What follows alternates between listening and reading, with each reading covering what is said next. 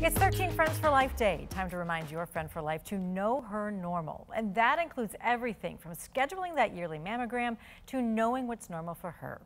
Finding support during breast cancer diagnosis is so important. Three women found that support virtually. And despite being strangers, say a Facebook group changed their lives and gave them lifelong friendships.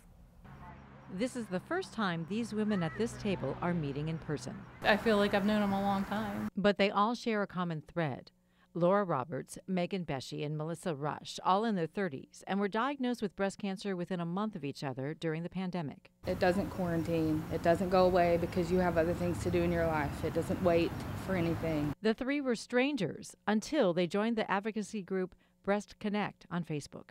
Our mission is just to make it easier because we can't we can't take it away. You know, it's there, but we can make that we can make that process easier for them. It's a community full of fighters and survivors.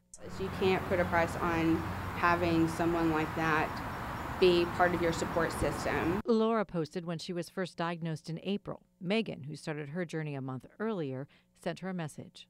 Helps give you hope.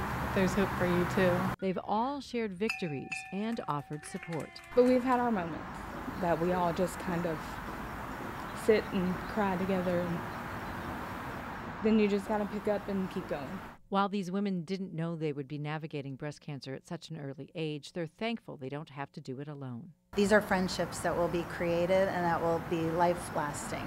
Their message? I think it's so important just to be aware. Um, get mammograms early if you have family history. You know, just be proactive in your health.